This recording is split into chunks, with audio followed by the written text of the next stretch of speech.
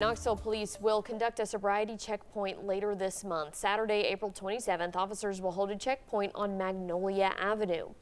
When you drive through, you will be directed to stop. Officers are looking for signs of drug and alcohol use during these stops. And in 2022, numbers from KPD showed 43% of the fatal crashes in Knoxville possibly involved driver impairment.